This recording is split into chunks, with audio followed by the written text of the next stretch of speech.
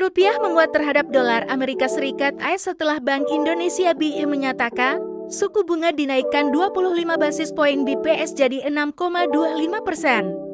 Melansir data Refintif, hingga akhir perdagangan kemarin, Rabu 25 April 2024 rupiah berada di posisi 16.150 rupiah per US, menguat 0,40 persen dalam sehari, melanjutkan penguatan yang sudah terjadi sejak dua hari sebelumnya.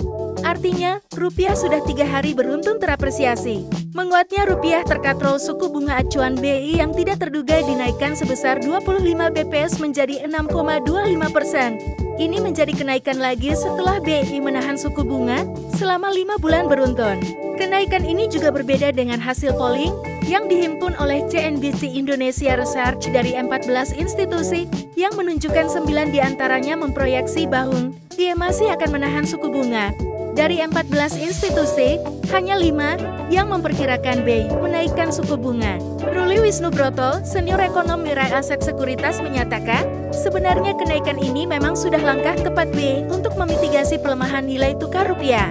Ruli juga menerangkan, dampaknya tidak akan terlalu besar bagi perekonomian, Justru jika tidak dinaikkan akan lebih mengganggu stabilitas ekonomi. Senada dengan pernyataan tersebut, Satria Sambijantoro, Head of Equity Research Bahana Sekurita, juga berpendapat untuk memperkuat rupiah harus diikuti kenaikan suku bunga. Satria juga membeberkan dampak dari kenaikan BI rate INE ke ekonomi dampak dari kenaikan BI rate ke ekonomi real sebenarnya tidak sebesar yang dibayangkan. Ekonomi Indonesia lebih didorong oleh fiskal, bukan moneter.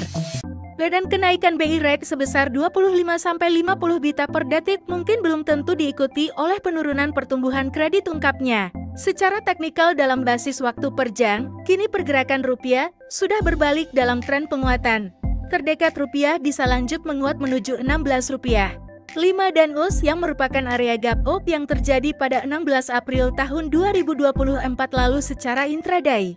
Meski begitu, pelaku pasar tetap perlu mengantisipasi jika terjadi pelemahan lanjutan dengan memantau resistance terdekat di 16.175 rupiah per OE. Ini didapatkan dari garis rata-rata selama 20 jam atau moving average MA20.